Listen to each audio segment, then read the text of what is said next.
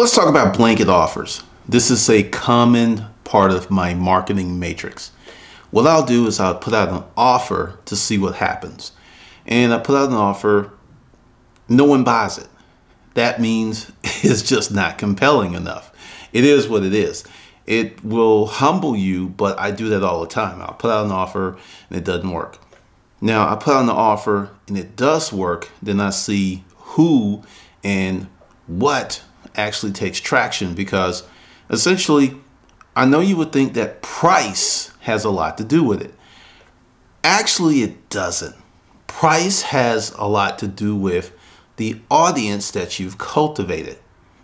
And part of cultivating your audience is to cultivate an audience with the financial wherewithal to build and to contribute to your success.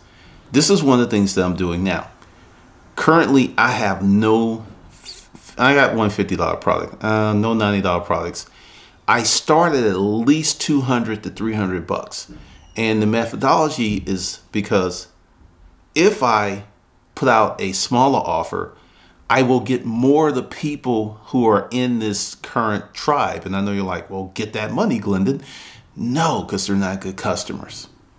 They are people who are desperate. This is one of the reasons that I craft my offers very carefully.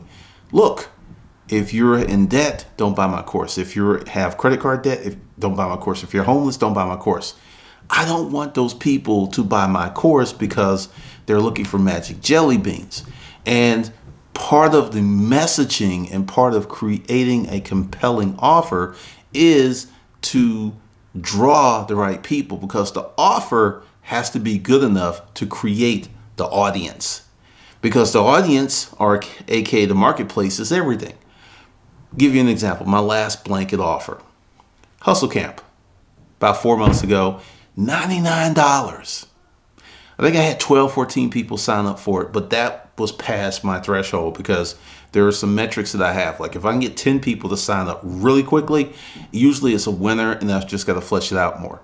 So I got 14 people to sign up the first day. This is clearly a win. And then I went through it and I started to build it at under such a cheap price point because that gives me a lot of freedom. Now, I've got the offer built, I'm putting it out, and I realize that, oh, this isn't going to work. But once again, I only have like 20, 30 people. Not a big deal. So I make some changes. I had one person unsubscribe and ask for a refund then the blanket offer metrics is a way for you to test your concept, to test your ideal, then to sharpen it a little later.